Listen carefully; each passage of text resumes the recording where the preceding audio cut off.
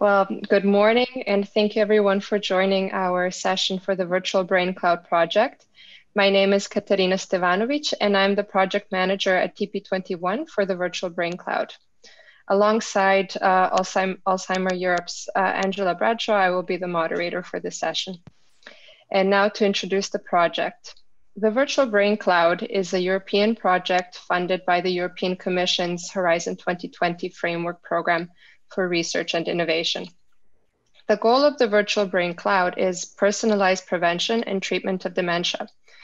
The Virtual Brain Cloud builds a generic framework for managing the life cycle of sensitive data and to leverage the potential of big personal data and high performance computing. The resulting uh, product is uh, open source, portable, GDPR compliant, and aligns with other platform projects.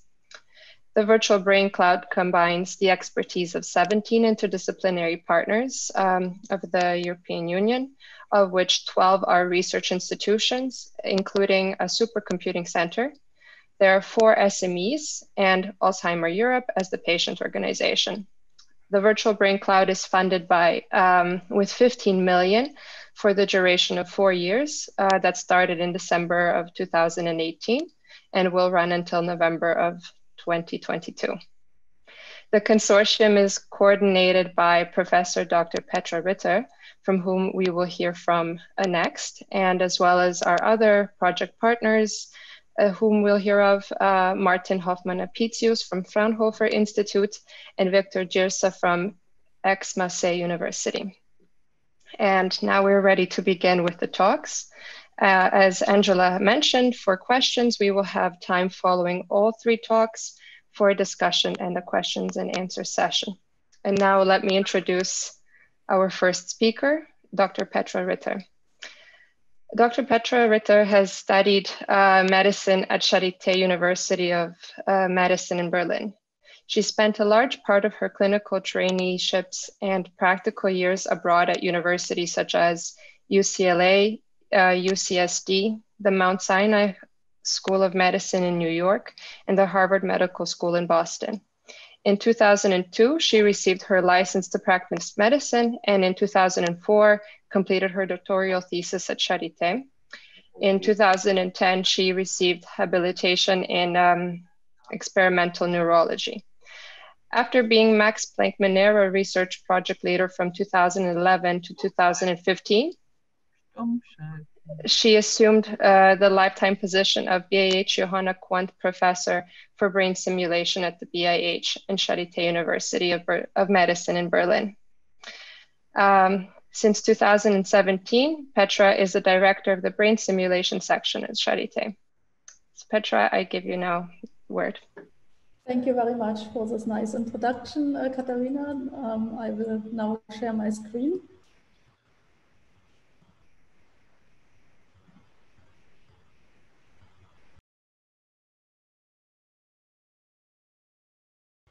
So first of all, welcome everybody and thanks to um, Angela Bradshaw for um, organizing this parallel session and for inviting us to present the Virtual Brain Cloud project. So I will be talking about um, the content of the project and I will also show some data that we have generated. And at the heart of um, the Virtual Brain Cloud project is brain simulation, what's a virtual brain simulation platform that enables um, modeling of candidate mechanisms of neurodegeneration. So here you see how the virtual brain platform works. Basically what we do is we use scans of individuals, of patients and healthy uh, controls and based on the multimodal information of these individual brain scans, we construct brain network models.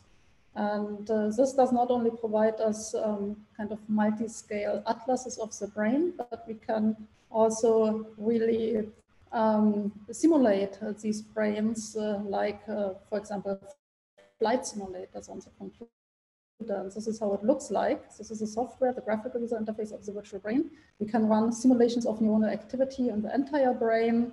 We can simulate EEG, electroencephalograms, magnetoencephalograms, functional magnetic resonance imaging, and then we have elaborated tools to analyze the evolving dynamics and the underlying rules. And the nice thing about the virtual brain is that we have all these brain models of individuals in the computer and we can test different therapeutic interventions like uh, drug application or um, surgery directly on the computer, not worrying about adverse effects for the individual. So in the virtual brain cloud, the goal is to use this uh, data integration through multi-scale simulation and to collect multimodal data. Um, neurodegenerative diseases are multifactorial diseases that have um, genetic groundings, but also many other additional factors that play a role.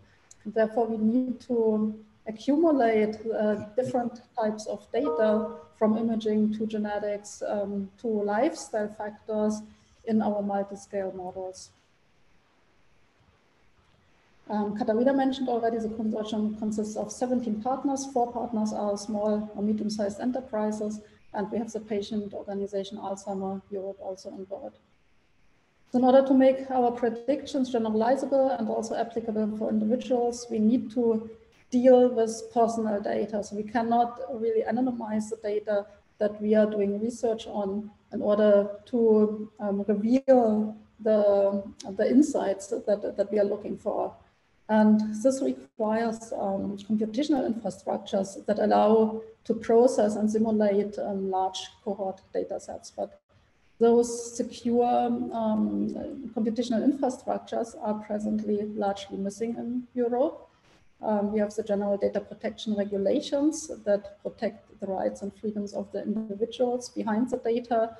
And this requires um, special data protection concepts. And with the virtual brain cloud, we are filling this gap. We are developing um, solutions with elaborated data protection concepts to be able to do this large scale data integration um, collaboratively.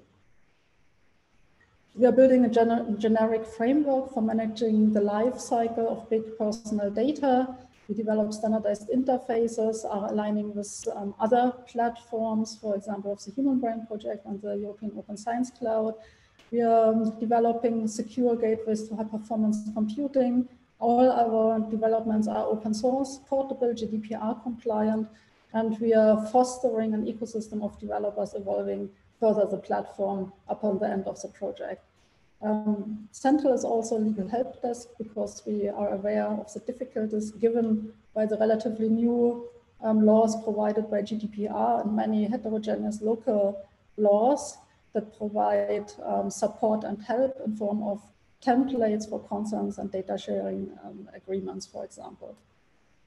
So for the data protection concept, we uh, include many different mechanisms to keep the data as private as possible. This includes authenticated end-to-end -end encryption, key architectures, access control, firewalls and sandboxes, monitoring and incident handling, secure deletion data ephemerality, regular updates, training of human resources, and shared responsibilities.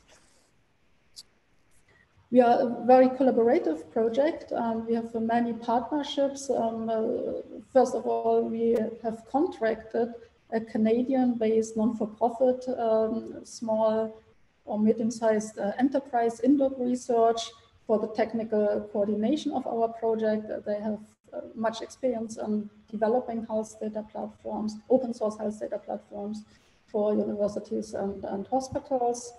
Um, we also um, collaborate tightly with local virtual research environment at the Charité in Berlin that provides um, a first production environment for the virtual brain cloud, um, coping with all the necessary uh, data protection requirements.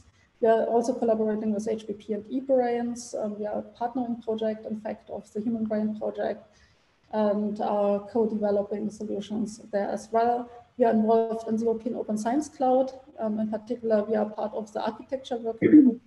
And the virtual brain simulation engine, of course, plays a central role for our consortium. And last but not least, we have um, several stakeholders um, from industry and other relevant uh, parties in our technical advisory board one of which is Brain Commons, a big platform being developed in the US, um, of which the CEO Magali Haas um, is the technical advisory board providing advice. So as I mentioned already, one central partnership is with the Human Brain Project, the European flagship um, initiative, and their e-infrastructure platform, eBrains, where you also find the virtual brain. And there in the past two years already, we have established workflows um, with this e integrated with this e-infrastructure for the virtual brains. The blue column here shows different workflows related to virtual brain simulation and data processing in order to bring the imaging data in the format that is required for brain simulation. And the many little arrows indicate how we connected these components to the existing infrastructure and services of eBrain. So you can run, for example, the virtual brain or the pipelines via Jupyter notebooks books from the common workbench of eBrain, the collaboratory, but you can also submit uh, computing intensive jobs via the Unicore um, API to the high performance computing provided by um, eBrains and the Human Brain Project. Also, the pipelines um, put out data um, fully annotated, so they provide the metadata that are necessary for ingestion of the resulting um, data in the um, data repositories of eBrains um, via the knowledge graph. The knowledge graph is a data management system of eBrains. And through that um, comprehensive annotation, uh, the data will be findable and reusable.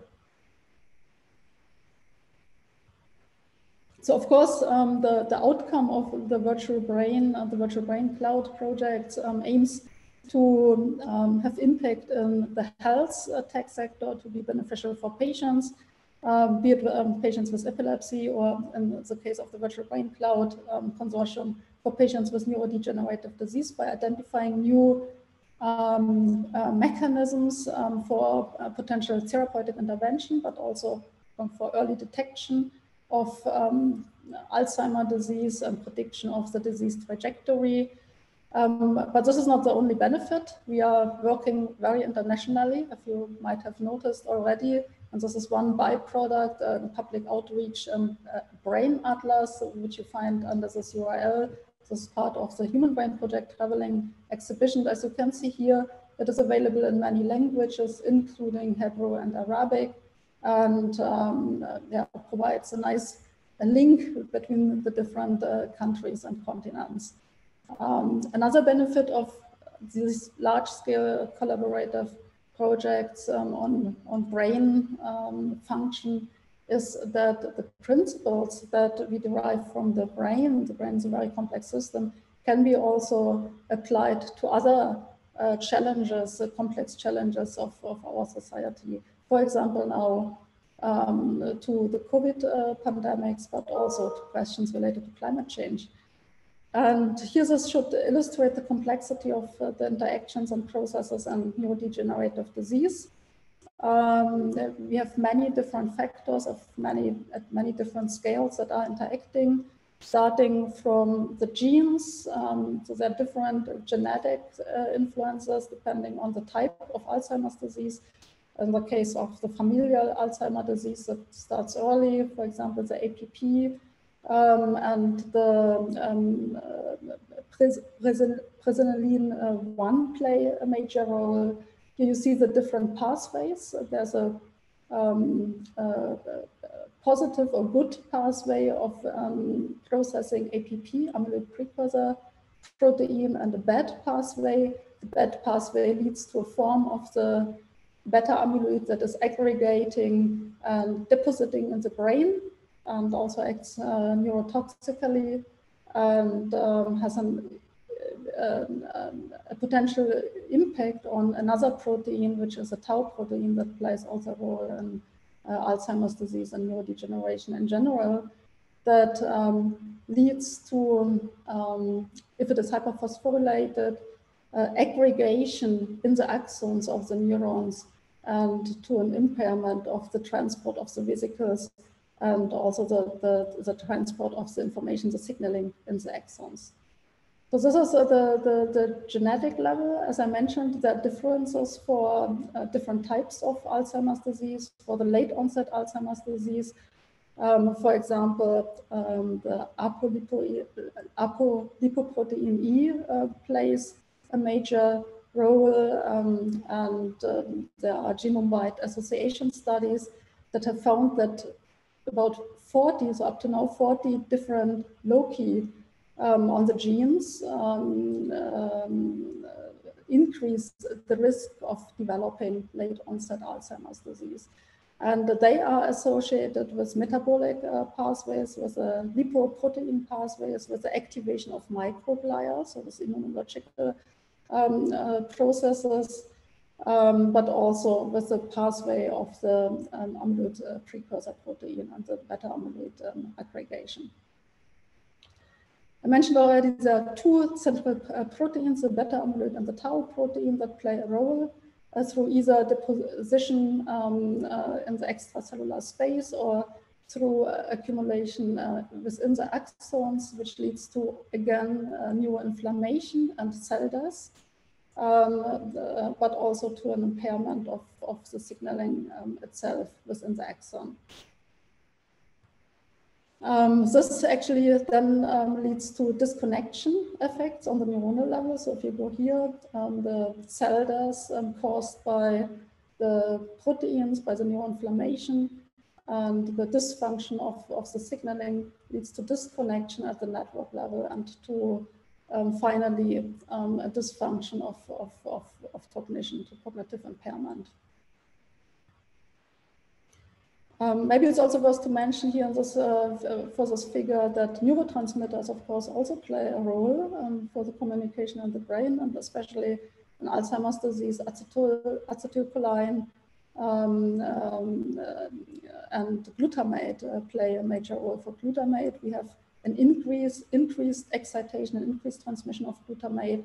Therefore, um, glutamate antagonists or NMDA receptor antagonists are used um, for improving the symptoms in dementia um, and uh, decreasing the glutamatergic um, transmission and hyperexcitation.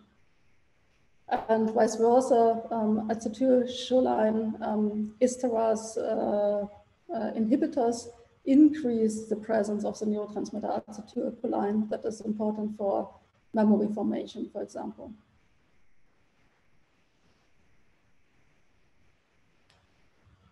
So now the question is how can we integrate these many different ingredients and pathways in our modeling approaches? And I will show you an example here how we um, started this process. So here again, you see the cascade of the formation of um, beta amyloid plaques that are um, one um, prominent feature in Alzheimer's disease.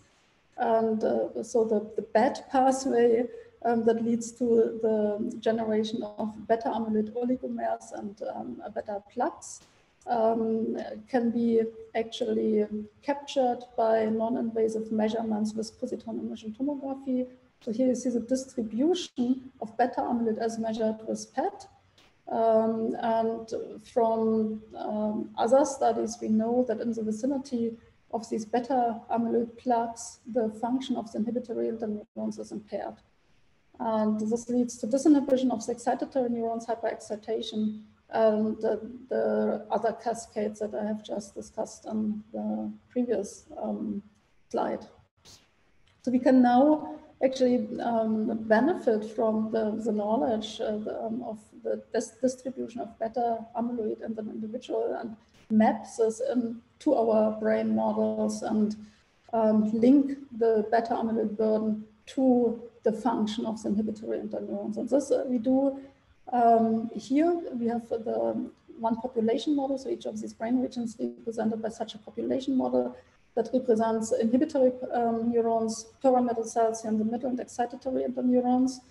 And we now map the beta amyloid burden for each individual region coming from individual PET scans on the coupling between the inhibitory um, interneurons and the pyramidal cells. And when we do this, um, we can measure then the activity of the pyramidal cells and the inhibitory interneurons What you see here is the phase space spent by the membrane potential of the pyramidal cells and the inhibitory interneurons. And we see that the activity, the membrane potentials of the two depends on how much input they get from the surrounding brain network. And depending on the input, different dynamic um, uh, repertoires can evolve. So for example, here with this input, we get large membrane potential oscillations.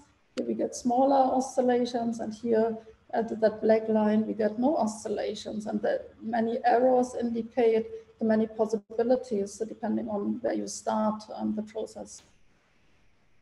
So this is uh, the, the, the, situation um, if we do not consider the beta amyloid plaque. But if we now um, consider the beta amyloid plaque that changes the coupling between these pyramidal cells and the inhibitory interneurons, um, we can see the impact of, of this altered coupling. And the, the beta amyloid uh, or the coupling is reflected here by this parameter J, the control parameter this, that is now step by step changed.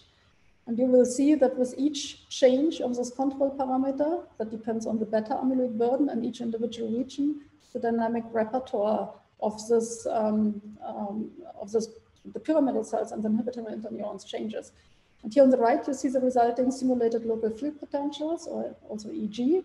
And we see that with increasing beta amyloid load, there's a change of the dynamic repertoire represented by the different ge geometric uh, uh, figures here that results in this in a slowing of the local field potentials on the EEG. And this is what we see indeed in the patients. Um, so here, this is a simulation for three groups, Alzheimer's disease, mild cognitive impairment, and healthy controls, indicated by the different colors. And here on the x-axis, you see the dominant frequencies. And we see that only by inclusion of the beta amyloid plaques from the PET data, we get a slowing in the simulated EEG and the theta frequency range. So with this simulation, we can make the link between the protein cascade and the observation of the EEG uh, slowing in patients. And in this way, understand the, the processes and mechanisms that couple these observations together. But we can also um, uh, further benefit from this by now including our simulated data, the local field potentials or EEG, um, as features in um, predictive models that um, should either predict the disease course or classify between different disease stages or disease categories. And this is preliminary work that, that I'm just showing you here today, where we looked how much adding uh, simulate, simulation inferred features like local field potentials to um, the feature space will improve the classification between mild cognitive impairment and Alzheimer's disease and healthy controls. So this is just a starting point. And we see here, this is the confusion matrix for the empirical features. This is a confusion matrix for combined empirical features and simulated features. And if we look just at the mild cognitive impairment classification, there's a significant improvement. And here on the right, you see the change of um, uh, predictive accuracy if we use uh, empirical data only, simulated data only, or the combination thereof. And we find best predictive accuracy if we use a combination of empirical data and simulation inferred features. And of course, we are interested to see what are the relevant features from our simulations for this classification and for the local field potentials. These are the local field potentials in the bilateral thalamus. So the simulated thalamic local field potentials significantly contribute to the improvement of classification between mild cognitive impairment and Alzheimer's disease. This is the final slide of, of, my presentation that shows you the possibility to also test drug effects um, on our virtual brains. So what you see here again are the three uh, groups, Alzheimer's disease, mild cognitive impairment, healthy control, and the simulated frequencies, the dominant frequencies. And for Alzheimer's disease, you see that especially slow frequencies around theta are predominant. Here you see our population model, and we now test a virtual effect of memantine, the NMDA, NMDA antagonist that decreases basically the, the hyperexcitation caused by glutamate by blocking the coupling between excitatory interneurons and pyramidal cells. And you, if we just apply this virtual memantine, we see a normalization, the dotted red line of the Alzheimer patients towards the baseline of the mild cognitive impaired and healthy controls. And we hope that in the future, this can be done on an individual level, so this is a group level to predict the therapeutic effect of certain interventions in individual patients. So I would like to thank you for your attention and um, I'm happy later to take questions in the discussion round. Thank you very much. Thank you very much, Petra, for all the information and the very nice presentation. Now I will introduce uh, Professor Dr. Martin uh, Hofmann-Apitius, who will follow next with the presentation. Martin Hofmann-Apitius holds a uh, PhD in molecular biology and has an extensive expertise in functional genomics and applied bioinformatics. He has experience in both academic and industrial research. Since 2002, he has led the Department of Bioinformatics at Fraunhofer Institute for Algorithms and Scientific Computing in St. Augustin in Germany. And in July 2006, he was appointed as a professor for applied life science informatics at Bonn Aachen International Center for Information Technology. Professor Hofmann-Apitius was an academic initiator and co-coordinator uh, of the AETIONOMY and IMI project aimed at generating mechanism-based taxonomy of neurodegenerative diseases. He is also involved in related IMI projects such as EPAD and RADAR AD, and is also a work package leader at the Virtual Brain Cloud project. Martin? Wonderful. Thank you so much. Um, pleasure to be here with you.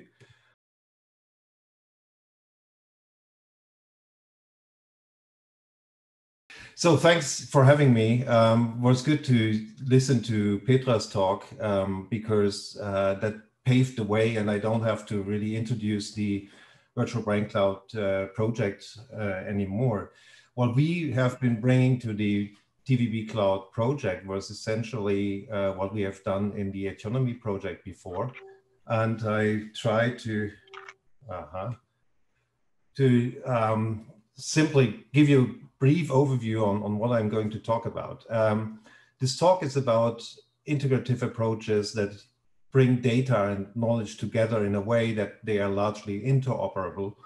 I would also like to uh, introduce a holistic approach uh, that is looking actually at all the data and all the knowledge out there on disease mechanisms in Alzheimer's and Parkinsonism in particular, uh, approaches to make knowledge computable, um, make data and knowledge talk to each other.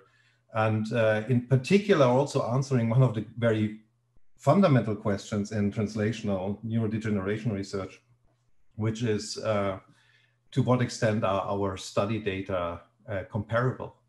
Because what, uh, what you have seen uh, from, from Petra's talk just a few minutes ago it's typically, um, you know, focusing on, on available data set, on the very few available data sets that are um, widely used in the community. There's nothing wrong with that. But the question is, of course, uh, does that generalize what we observe there?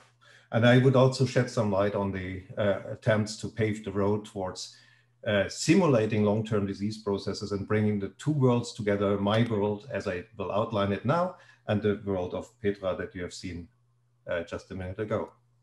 So in AETIONOMY, the task was uh, essentially to try to uh, tell subpopulations, and I hope you can see my cursor, you, um, subpopulations in a, in a mixture of patients or uh, subjects affected uh, and discriminate between subgroups uh, based on a mechanistic understanding of what's going on and that, of course, would lay the foundation for and the basis for drug development and therapy. That's the nice idea, and that was the underlying concept of AETIONOMY.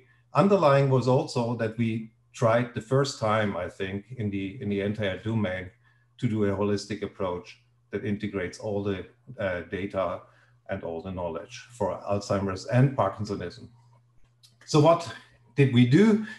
We uh, captured and represented uh, the majority of the knowledge in the domain uh, in, in, a, in a graph system, in a, in a graph-based uh, approach that is quite common in the knowledge domain that we work with graphs. No time to go really into any detail. The only thing that you should keep in mind is those graphs represent knowledge across scales.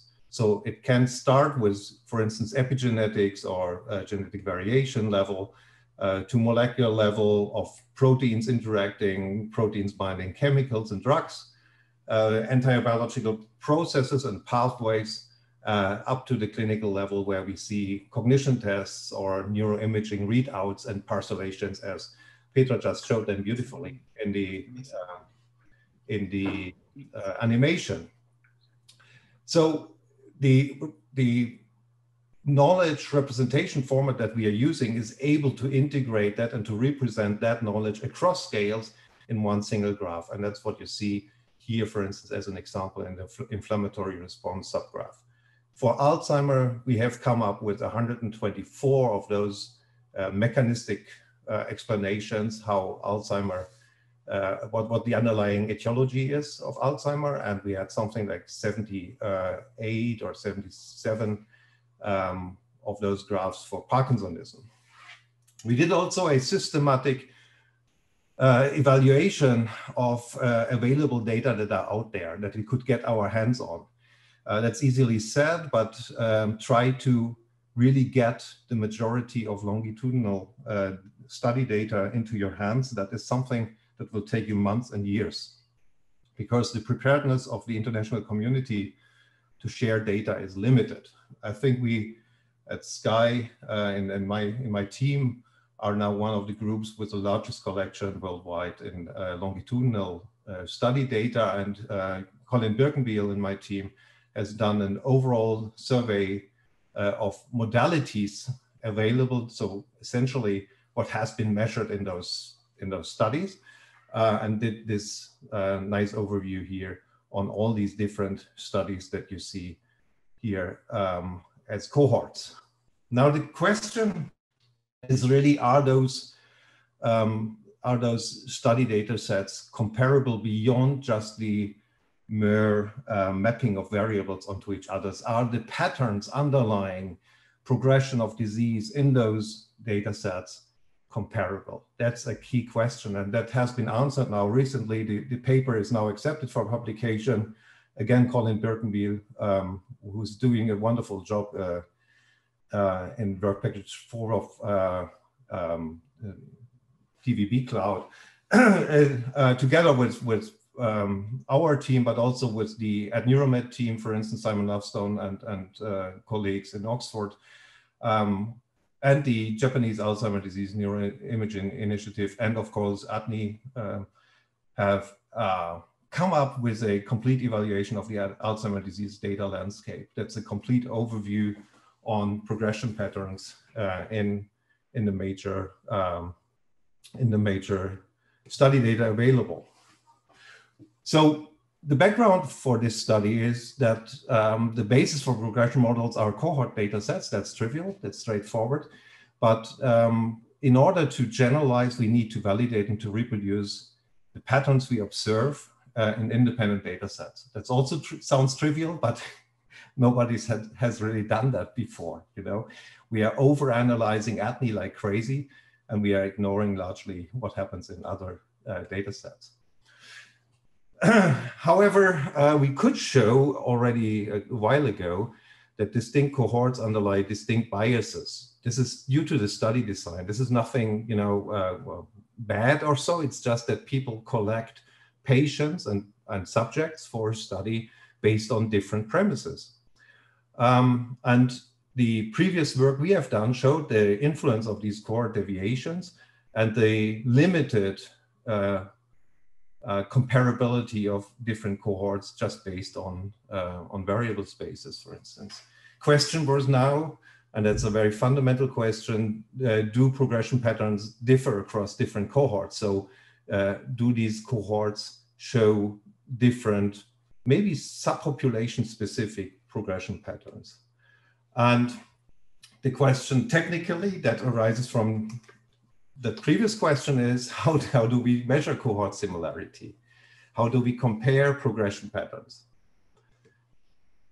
So the methodology is based on data mining um, and modeling of progression patterns uh, in distinct cohort data sets, compare the patterns across cohorts and uh, compare trained models for instance, models that represent um, the longitudinal behavior of individual cohorts. And that's exactly what we did. Uh, we, we, we are using multi-state models, MSMs, for that, which essentially um, know different states. Uh, these are typically the diagnostic states like control, mild cognitive impairment, and Alzheimer's disease in the, in the AD field. And then we look at the conversion, uh, essentially the um, event of somebody crossing the line between control and MCI or crossing the line between MCI and AD.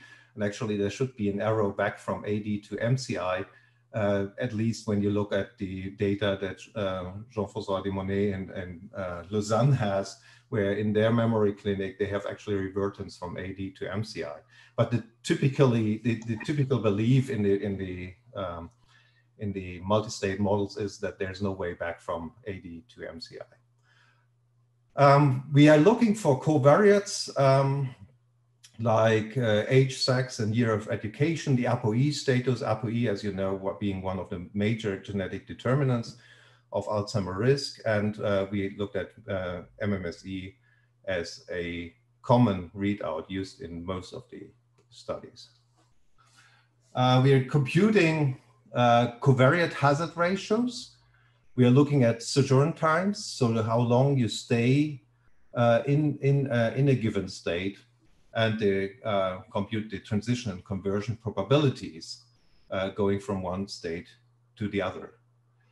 Um, and we did that for all available data sets with a longitudinal follow-up. Um, the cohorts, of course, uh, need to share the covariates under investigation and we have to deal as usual with missing data problems, which is actually one of the uh, bigger problems, but there are modern AI approaches that uh, allow us actually to uh, cope quite nicely and in an elegant way uh, with missing data uh, imputations.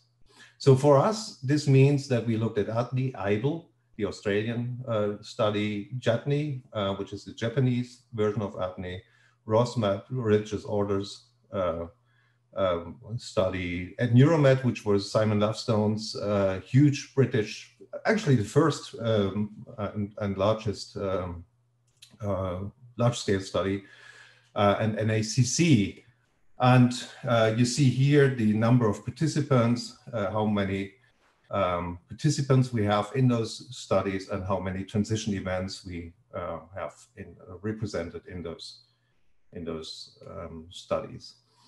This plot shows you uh, for the hazard ratios, the influence of covariates like sex and age and education and ApoE and MMSE given uh, um, a, a or specifically computed for each individual study. And you see how strong uh, the, um, the the variation is uh, on the on the side of some of the um, the studies representing or reflecting probably uh, heterogeneity in the recruitment, for instance.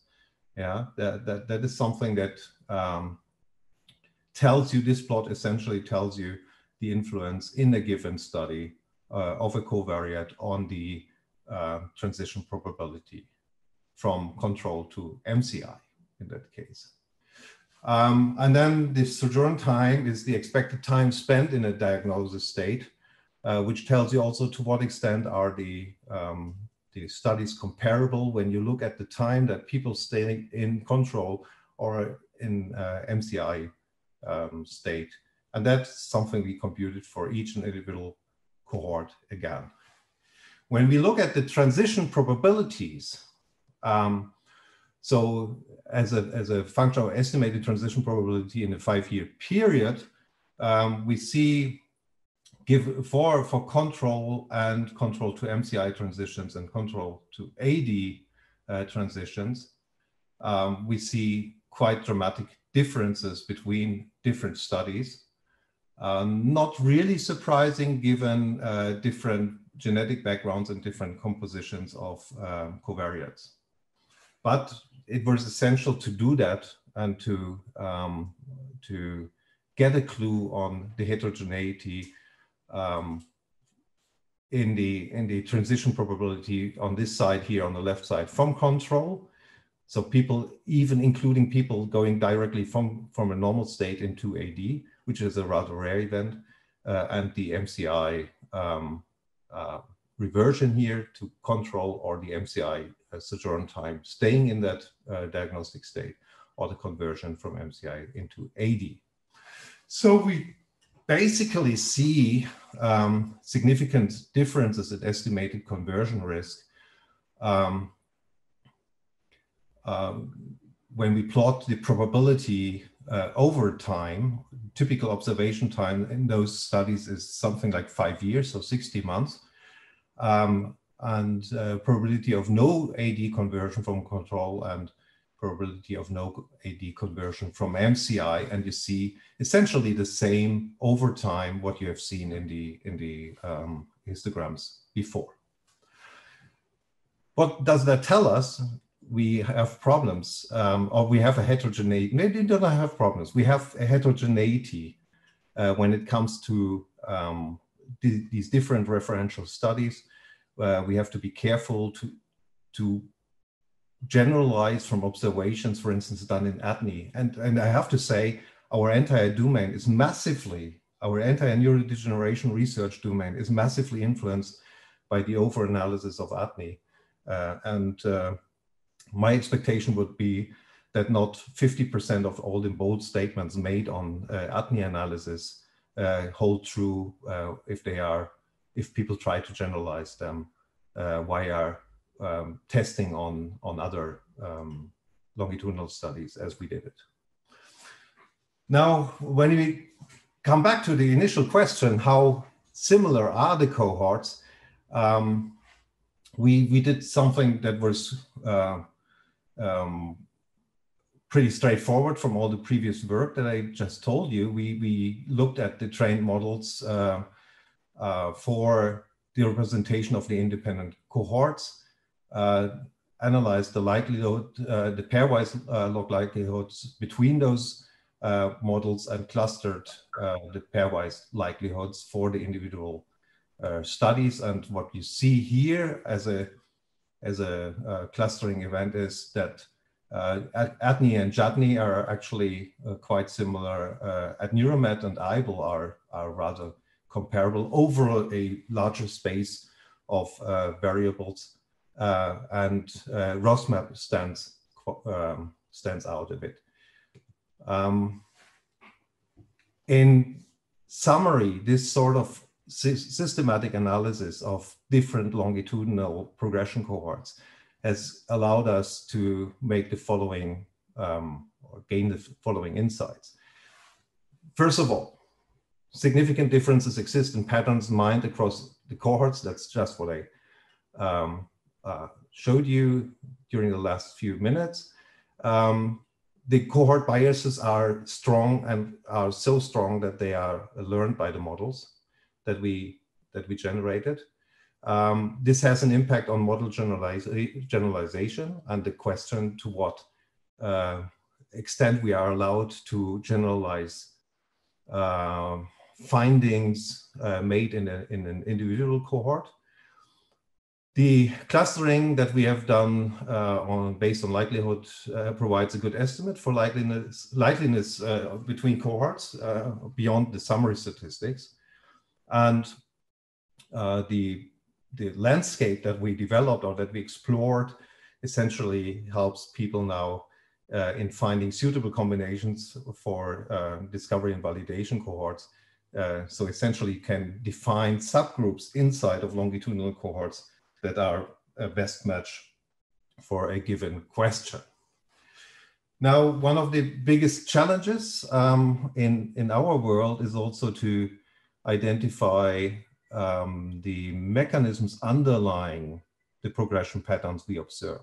So what is the mechanism? Essentially asking what are the mechanisms that contribute to fast progression or to conversion or to a sustained uh, sojourn time in a, in a in a uh, acceptable um, in a healthy state or in a, in a mild cognitive impairment state, but avoiding, uh, avoiding real dementia. And we have been working on, on a variety of uh, uh, methods um, to associate the knowledge graphs that we generated that represent our disease mechanisms with uh, patient level data uh, and do an interpretation, a mechanism-based interpretation of, uh, of the disease trajectories that we observe. Uh, and a very recent one is this um, new um, algorithm or new algorithmic approach for this association, uh, actually an embedding of patients into a knowledge graph. So rather trying to uh, embed a knowledge graph in a, in a patient level data set, um, we, we take it the other way around. And that's work that will be published very soon. So it's, it's not yet uh, submitted, but the paper is in preparation. We take patient level data and the knowledge graph, and we can take all the knowledge graphs that I've shown you in the beginning of my talk, which is, for instance, for Alzheimer, the 124 different um, mechanism graphs. We do an embedding of patients based on the distribution of a parameter into the knowledge graph. We create a new patient representation, which is essentially a knowledge graph populated by patient subgroups that can be associated with different parts of the knowledge graph. Um, we can generate vectors derived from those representations and use them for all sorts of uh, machine learning and AI applications, including classification, clustering, uh, simulation, and predictions. Does it work? Yeah, uh, we have been testing in a couple of benchmarking experiments that the new uh, patient representations when compared to raw data, actually uh, show a, uh, a, way better discrimination. Um, that was something that we uh, initially needed to, to test. Um, the, the machine learning models were able to distinguish uh, different groups and patients better in CLEP representations as compared to raw data uh, representations um, by a margin of 25% the idea is now really to do this systematically and use CLEP as an algorithm for uh, mechanism-based subgroup representation, um, identifying mechanisms that are specific to patient subgroups and explain in the best way the distribution and the um, let's say the, rep, the, the distribution of parameters in, in a given cohort. Um, that hybrid approach needs to be tested, of course, uh, on a lot of different uh, different uh, cohort data. again, the generalization aspect, but uh, we are pretty optimistic that this will work out fine, and uh, uh, it it really may allow us. Um, based on all the previous work, you know, which was quite tedious on pre-processing and polishing and cleaning longitudinal data sets, we are now in the position to systematically run all our, um, our mechanism, disease pathophysiology mechanism graphs against all our longitudinal patient level data, which is quite uh, a step forward. Um, coming way beyond the end of the AETIONOMY project, which ended in the uh, end of uh, 2018. But essentially, this is the way how to establish a mechanism-based taxonomy of disease in the Alzheimer field and in the Parkinsonism field, but it can be ported to any disease area. And with that, I skip the virtual cohort um, aspects here. I would like to come to the last slide, which is the summary and conclusion. I want you to take home the following messages. We organized all data and all knowledge in an entire indication area, and this is possible now. Take home that the time is over where you work on a single data set or where you work on a uh, you know some sort of transgenic mouse and you torture it this way and you torture it that way and so on. This time is simply over. We have to go for all the data all the knowledge and use computational approaches to uh, make them computable interoperable talk to each other and uh, and get the most out of it in in the synopsis of all data and all knowledge um, we have developed and we are still continuing to develop algorithms that link data and computable knowledge um, and that enable us to perform mechanism-based stratification as you have just seen it in my last slides. Um, we can even simulate entire uh, cohorts. I didn't have the time to go into any detail there, but it's also a nice fit uh, to what Petra was saying um, about, uh, uh you know, virtual or simulated brains, even at individual level. We have complementary activities um, uh, simulating entire cohorts. And uh, the, the fun part and the really cool part will come if the two worlds um, the one that I just represented and the world of uh, uh, TVB that um, Viktor and, and Petra stand for really come together, you know, if they, if they really um, integrate uh, and then we are a big step forward. And uh, with that, I acknowledge and, and, thank all the people, you know, in my team and uh, uh, also the European taxpayers, by the way, who pay the entire show uh, the Virtual Brain Cloud project and the AETIONOMY IMI project. Thank you. So now I'll stop sharing and there I'm back. Thank you, Martin, for this very nice presentation. And now we will have Viktor Jirsa. Uh, Professor Viktor Jirsa is the director of the Institute de Neurosciences de Système at Aix-Marseille University in France and is a director of research at the Centre National de la Recherche Scientifique, CNRS. Since the late 90s, he has substantially contributed to our understanding of how network structure uh, constrains the emergence of functional dynamics using methods from nonlinear dynamic system theory and computational neuroscience. Professor Jirsa has been awarded several international and national awards for his research, including the Early uh, Career Distinguished uh, Scholar Award in 2004 and the Francois Erbsmann Prize in 2001. Since 2005, he has been the leader of the Virtual Brain Neuroinformatics Project and the work package leader in the Human Brain Project. So Viktor, we can see your presentation now. Good morning, everyone. And uh, it's a pleasure to be able to speak to you.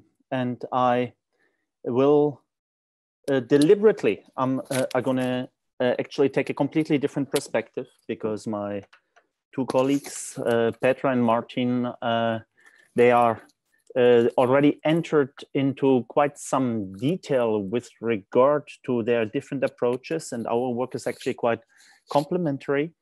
Um, and the perspective that I wanted to provide you with is deliberately a little more theoretical, which will help to hopefully contextualize before. And uh, uh, one aspect I'd like to point out is that Alzheimer disease, it, as it has been mentioned before, is a multifactorial disease. There are many different mechanisms that can uh, contribute to this, and they're not exclusive. Several have been mentioned, tau phosphorylation, A beta aggregation, uh, there are different ways how they can express themselves. And how can we, when we take a modeling approach in order to not only identify hypothetical mechanisms, but also to predict possible future interventions. How can we make sense out of this? What can provide us with guidance? Yeah, we can implement many mechanistic hypothesis and move forward, but we do not necessarily know which one applies to one particular patient. Yeah, so personalization is a very important uh, aspect. Guidance and positioning in a multi-dimensional, multifactorial world is, is, another one. Yeah, and uh, there I want to uh, go back actually in the history of science and uh, remind you on some uh, two giants in the theory of emergence and self-organization. What you see here is Hermann Haken, a pioneer uh, that has contributed in the 60s, 70s, 80s to the understanding of uh, uh, complex systems and self-organization. And uh, his colleague Ilya Prigogine is uh, uh, shown underneath. Both have contributed in chemistry and in physics to the emergence of patterns, of the uh, understanding of how patterns are being generated in complex systems. And there you also, on the level of Hermann Haken, you see also the vase phase picture where you are having two perceptual states either the faces or the vase, uh, uh, emerging and uh, arising out of uh, your visual system and your complex system, the brain generating this perception. So there are mechanisms in place. And I'd like to actually enter into a little more detail because I'd like to connect this uh, back to the brain. And Hermann Haken has pushed the theory of synergetics forward, where you see here a cartoon representation of a complex system. In order to show pattern formation, what you have to have is nonlinearity, complexity, interactions in the system, and very importantly, the system is driving you away from the thermodynamic equilibrium. Otherwise, we are in the world of dead matter thermostatistics. Yeah, so it drives us away from that. And at certain points, we call this phase transition points, patterns emerge, which you see in the simulation here, and then uh, structures or motives, uh, templates are emerging. This can be a thought, this can be a percept, like in the phase vase picture. In Haken's case, it was laser activity or superconductivity where he made, made uh, major contributions. In Ilya Prigogine's case, it was the explanation of chemical reactions. And there you common to them is that you have a huge dimension reduction, uh, which means essentially you have a very complex system and everything reduces onto small subspaces represented here by a, a sphere where the dynamics is attracted down to a spherical surface. It's maybe a million dimensional space, yeah, represented by laser atoms, for instance, but then it's contracted onto a low dimensional subspace. It can be also billions of neurons, yeah. And then this happens at certain working points in the neighborhood of phase transitions, yeah. We do not have this in the brain, yeah. We need to generalize this. We need a new entry points that helps us to position our understanding and our works. And one aspect that has emerged over the last 10 years of neuroscience is what we call equivariant systems. And essentially their symmetry plays a very important role. And I'll provide you with an example. Yeah, Here you see a network connected by different links. And if you uh, keep, uh, keep them completely disconnected, yeah, what can happen or what typically happens is that in a very high dimensional space, imagine this to be an n dimensional network, the dynamics goes down to individual points and then uh, on a what we call a fixed point or stationary state, but then there is no dynamics along there. Yeah. And what happens is when you break the symmetry, you go from this state to that state and introduce a very tiny symmetry breaking. Yeah.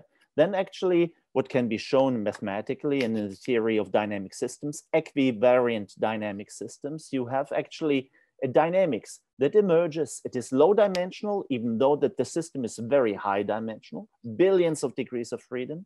But there you can occupy different subspaces, even having multiple states being occupied not simultaneously, but you can flips from one state to the other. And this is an, a scenario, this low dimensionality occurs in the neighborhood of uh, uh, symmetry. So that provides us suddenly with a new working point that is a fully symmetric point that we can exploit and actually put back in the context of brain sciences. And this is uh, work that is happening over the last 10 years. As Petra was talking about, we build virtual brains from individual brain images. We make a parcellation and we build a network out of this. And we extract from an individual patient brain also his or her connectome, put this together co-register this, and then span in three-dimensional physical space a virtual brain of this particular patient. Yeah, but now we can take this what I told you about symmetry and emergence. It's not just empty jargon. We can actually, in this framework, we can develop it systematically, yeah, in order to posit very clear questions. For instance, you can start with the network completely disconnected and then you start turning on the connectome and breaking the symmetry of the individual patient and investigating what is actually happening in the system. And we can do this along a particular paradigm, for instance, resting state uh, paradigm, a paradigm we use a lot in aging and in healthy and pathological aging studies, typically fMRI, the bold signal, where the connectome then can be represented by a structural connectivity matrix. This is a person's connectome, left hemisphere, right hemisphere. And then dynamics evolves over time for individual brain areas that can be measured in the scanner. And what is typically being done is out of this, you apply standard approach is we, uh, you apply covariance measures, so cross-correlation matrices, and you compute what is called the functional connectivity. This is what you use to interpret these signals. Functional connectivity means covariance measured over 20 minutes of a particular patient.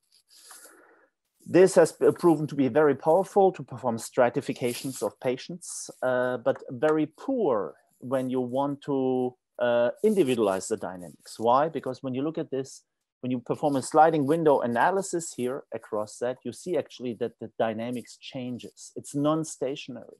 That's actually very important. And one way to uh, uh, demonstrate this even better is you can compute a functional connectivity just for one time window here, and then you shift it by a time shift and compute another one and another one and another one, and then you correlate them.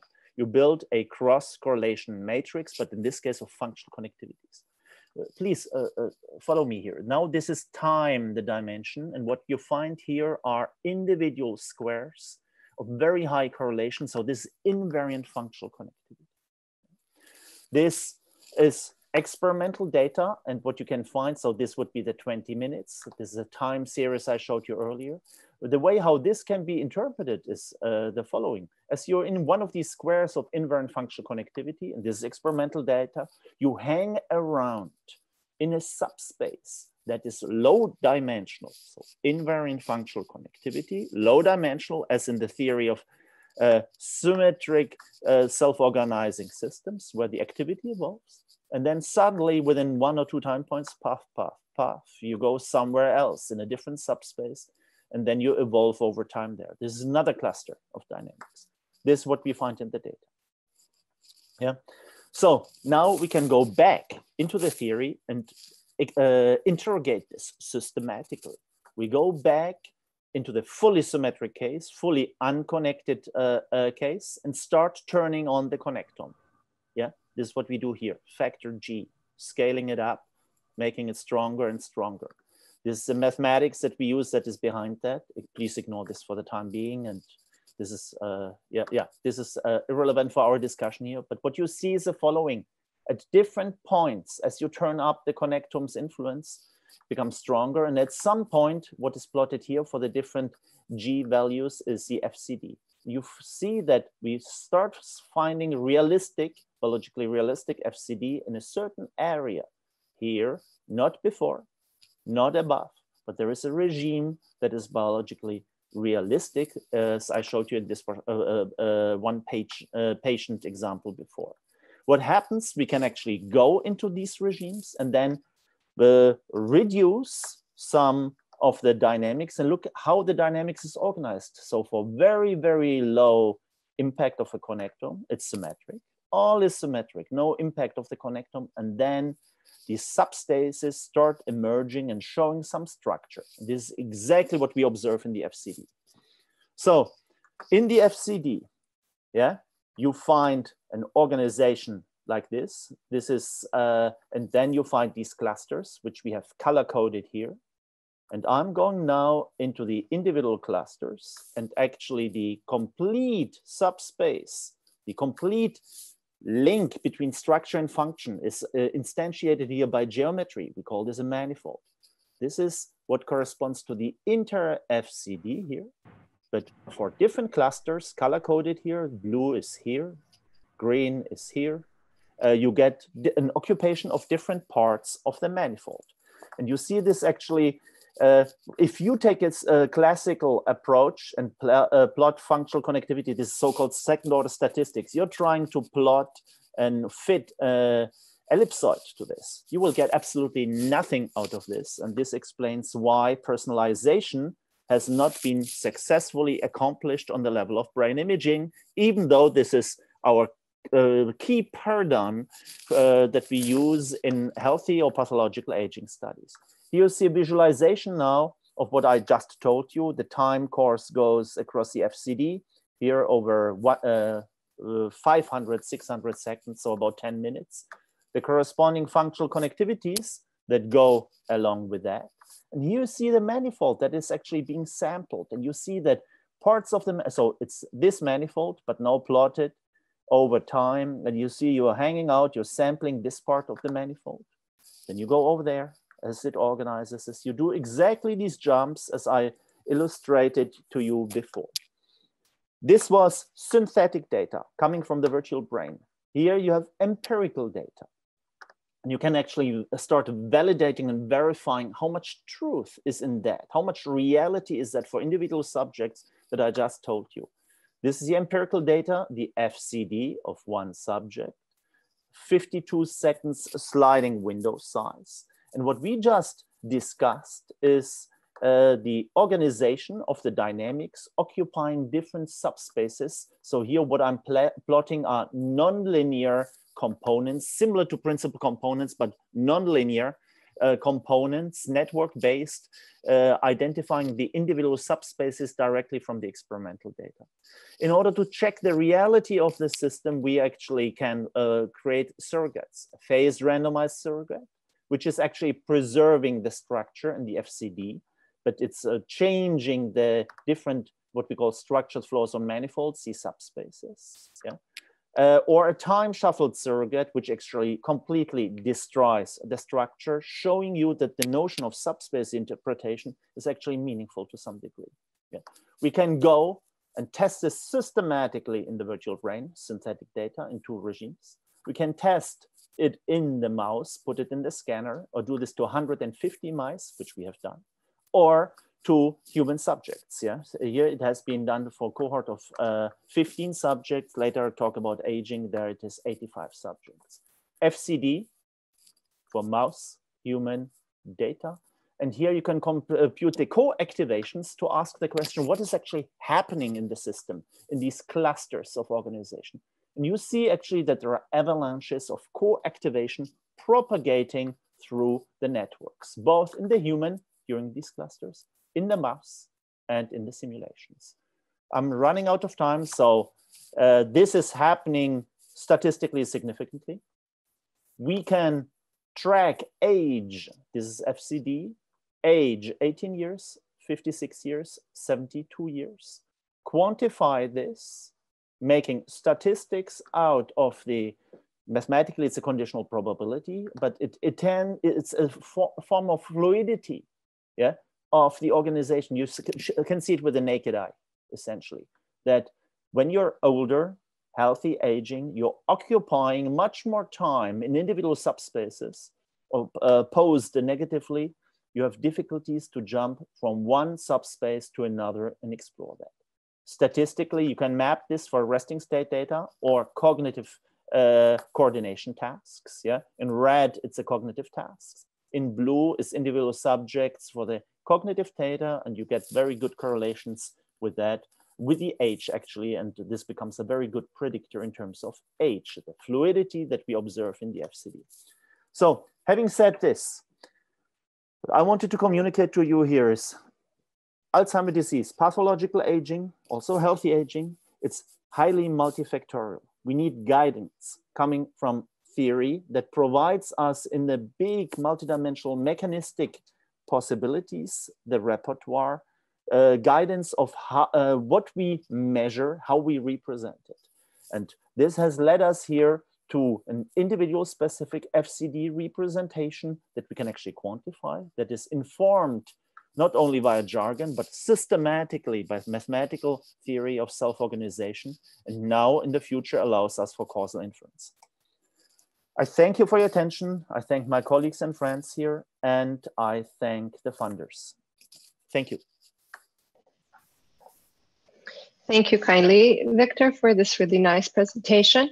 And now I will give the word to Angela, who will help me with questions and answers for the next five minutes. Great, many thanks, uh, Katarina, and thank you to all the three speakers uh, for very clear and engaging presentations. Uh, I'll start by addressing some of the questions in the chat box. So first of all, um, there was a question for Petra, and probably for all of you more generally. How does the simulation procedure take into account the so-called constitutional and environmental related brain reserve and cognitive reserve? Hi, yeah, thank you for this uh, great uh, question, Claudio.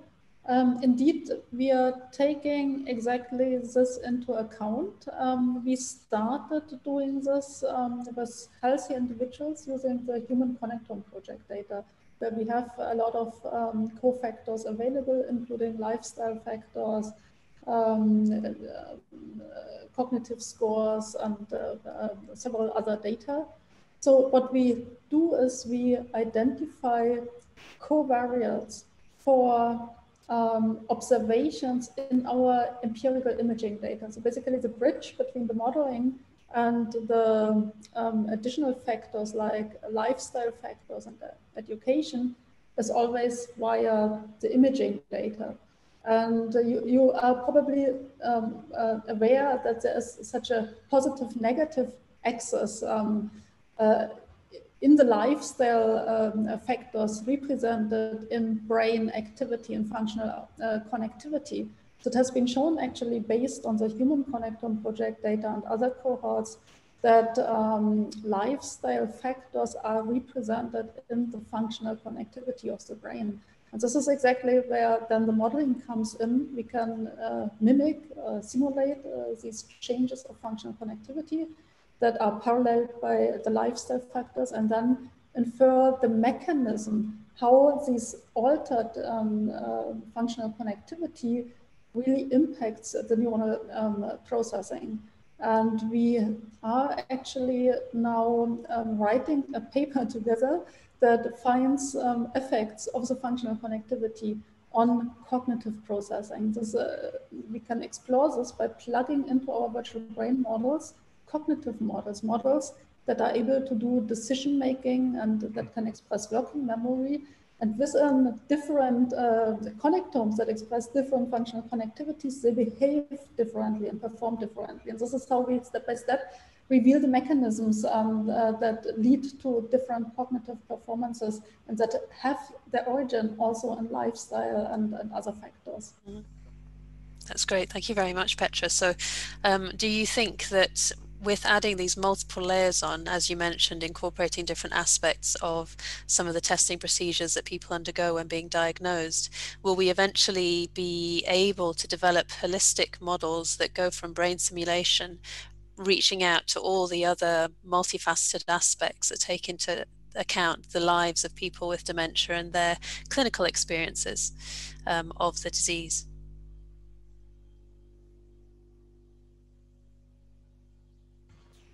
So I would like to give the word now to one of the other speakers because I talked a lot, or do, do, shall I respond to this question? I could ask actually a more general question because I'm seeing we're running a little bit low on time and I just wanted to ask a question more generally about European brain research because each of you is involved in very large projects, some under the banner of the Human Brain, Project, but also projects funded by the Innovative Medicines Initiative. And, and where do you see the future for these interactions and these interactive projects? And where will the benefit come for EU taxpayers in the future? Yeah, so here I really would like to jump in because I, I have personally a big vision here. So first of all, of course, it is very important to build the bridges between all the different initiatives and to work together. And finally, I hope this will result in kind of health data hubs um, across Europe and maybe beyond, where systematically following certain standards that are guided by the scientists, um, the data are being um, acquired by the, from the European population, starting already with, with healthy um, uh, individuals and then following up, uh, of course, um, in the course of different diseases, because this is the type of data that we need and that in the long term also will decrease um, the, the disease burden, but also the, the economic impact of, of, of the brain diseases even so, uh, on first sight, it looks like it will be very expensive to have these uh, European health data hubs uh, where you have imaging um, uh, methods available that are costly, but in the long run, this will um, pay out because uh, we will save a lot of money as a society for um, um trying to um, mitigate or um, relieve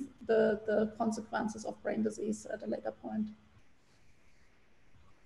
Yes, Martin and Viktor, do you have a comment for that?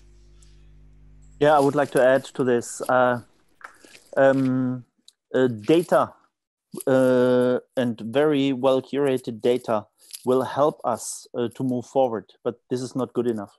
Yeah, because at some point, uh, uh, just the organization and the parsing and the curation of the data will not necessarily generate new knowledge. And this is what we find in the current uh, artificial intelligence approaches. The entire AI community uh, has been pushed by what we call statistical inference, trying to extract the structure and understand the structure that is in the data.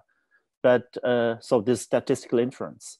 But if you want to make a clear statement about what is not in the data. So go beyond the data and explore new uh, avenues, uh, for instance, new interventions. Yeah, you have to have a hypothesis. Yeah, another word for hypothesis is a candidate mechanism. Another word is model. Yeah, this is called causal inference. You have to have a causal uh, hypothesis candidate uh, that is being uh, tested. This you can then combine with uh, higher order statistics and uh, you can actually uh, make very, very clear predictions, but it's actually extremely difficult. There you need guidance from theory and you need high performance computation. And now coming, uh, coming back, making the loop to the question that you actually ask, this is not possible only within a single laboratory. For this, you need collaborative uh, research not but uh, by two or three laboratories, but we need a culture change. And this is in neuroscience, and this is what is actually uh, happening in Europe right now with uh, the individual projects, but also the network of networks of uh, European projects, building huge infrastructures like it's happening in the Human Brain Project with eBrains that allows then other laboratories and other consortia also to tap in to share data, share insights, share knowledge, strategies, workflows, uh, and theory. Yeah. And uh, it doesn't help if we have 2,500 models. At the end of the day, we need one single model that needs to be consistent, but sufficiently complex to address all these questions. This is why we need European collaborative research, and it's happening. Fantastic. I think that's a brilliant note to end the session on. Thank you very much to all our speakers for participating. I'll leave the last word with Katarina as the session chair. I just want to thank everybody for their presentations and for the discussion. Um, I hope that uh, everybody uh, got a take home message. Uh, it was very interesting. And once again, thank you to Alzheimer's Europe and all the presenters.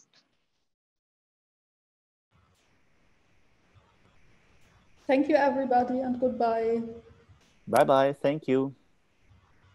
Bon appétit pour moi. Bye bye. Thank you to all.